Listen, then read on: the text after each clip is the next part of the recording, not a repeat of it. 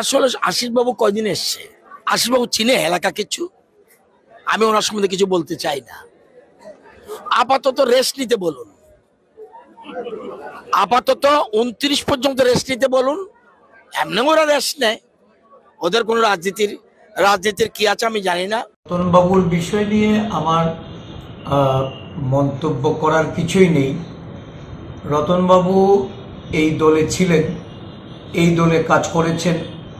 বিধানসভায় উনি যখন বিরোধী দলের নেতা ছিলেন, উনি বিধানসভায়ও আমি বিরোধী দলের প্রতিনিধি হিসাবে কাজ করেছি।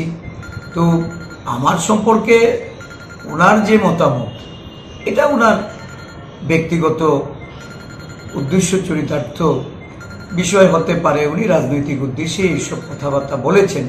তবে রতনবাবু কি জানেন? এটা রাজ্যবাসী ওনার মন্ত্রিত্বকালে শিক্ষামন্ত্রী, বর্তমানে বিদ্যুৎ মন্ত্রী, এটা মানুষ হারে হারে টের পাচ্ছেন। রতনবাবুকে, আমাকে নিয়ে মাথা ব্যথার কোনো কারণ নেই।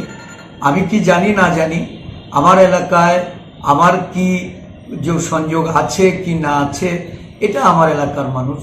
এরাই রায় দিয়ে, এরা বারে বারে আমাকে, ওরা জানান দিয়েছেন। আমি বলব যে রতনবাবু আপনি আপনার দপ্তরের কাজে মনোযোগ দিন।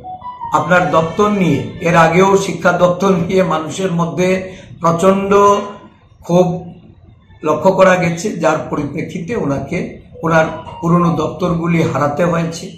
বর্তমানে যে দপ্তরের দায়িত্বপ্রাপ্ত, সেগুলির প্রতি উনি মনোযোগী হলে রাজ্যের মানুষ খানিকটা এর পরিষেবা পাবে।